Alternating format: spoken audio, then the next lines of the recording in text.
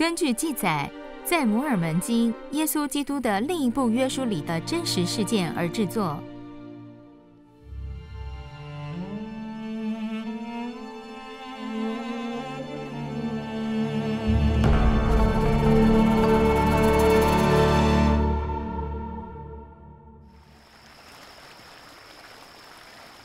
这些叶片包含摩西五书，以及我们第一对祖先亚当和夏娃的记叙，还有圣先知的预言。是的，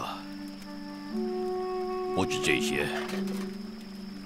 看，我祖先的族谱，我是约瑟的后代。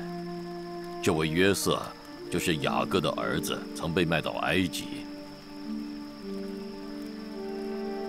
灵向我显示，这些铜叶片必传至属于我后裔的各国、各族、各方、各民。